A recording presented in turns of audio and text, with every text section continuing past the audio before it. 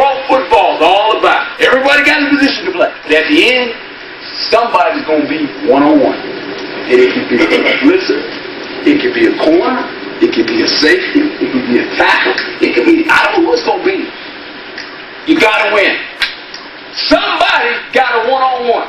They can't double team everybody. You got a one-on-one, you got to win. Got to win.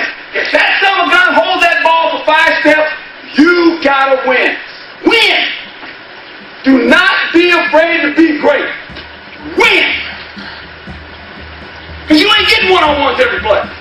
When you you got to win. We play fundamentally sound. That's going to happen Saturday night. We're going to win.